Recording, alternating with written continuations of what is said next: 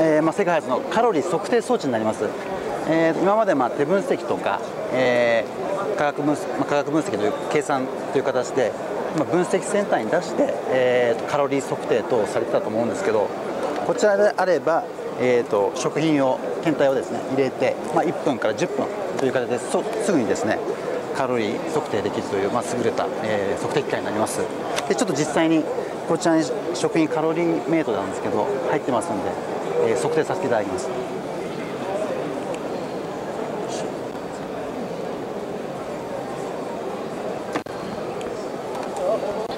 これです約1分間で、えー、測定可能になります。でこちらの商品なんですけど、えー、平成18年に、え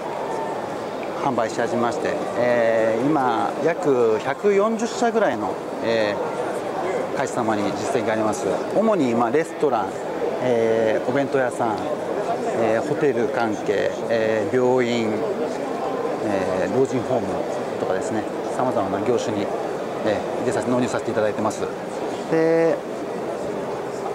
現在あの日本の方でもあのお弁当とかにですねこういうカロリー表示を結構されてると思いますんで。でもう日本の国内ではまだ義務化されてないんですけど、まあ、これえー、最近の健康ブームとかいろいろありまして必ずこういった、えー、お客様のニーズに沿ってこういった、えー、資料を添付させていただく場合もあります。こちらの方はあの個体しか測定はできないんですがちょっと今日は実機がないんですがこちらのラボ用の、えー、分析装置であれば液体の方の測定も可能になります。例えばあのアルコールの濃度とかですね、はい、あのジュースのカロリーとかいろいろあ今ちょうど。今測定、えー、終了しました。今回ですね、えー、今測りましてこちらのカロリー400キロカロリーに対して、えー、こちらが378キロカロリーですね。